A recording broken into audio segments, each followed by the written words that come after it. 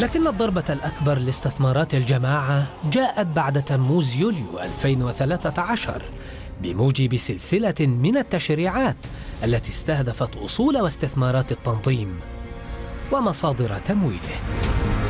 قررت اللجنة التحفظ على 1589 عنصراً من العناصر المنتمية والداعمة لتنظيم الإخوان الإرهابي و118 شركة متنوعة النشاط و1133 جمعية أهلية و104 مدارس و69 مستشفى و33 موقعاً إلكترونياً وقناة فضائية. أظن أنه داخل مصر الآن لم يعد هناك أي استثمارات لأنه كل الاستثمارات حتى الشخصية الفردية للإخوان صدرت أو تم التحفظ عليها.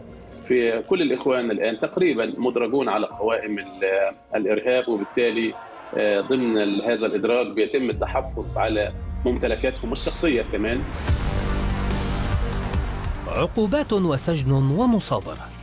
نهاية واحدة لتجربتي المحافظ الضخمة التي تقدمها يوسف ندى وخيرة الشاطر لتمويل نشاطات الجماعة. وخوفا من المصير نفسه صار الإخوان أكثر تكتما بشأن استثماراتهم.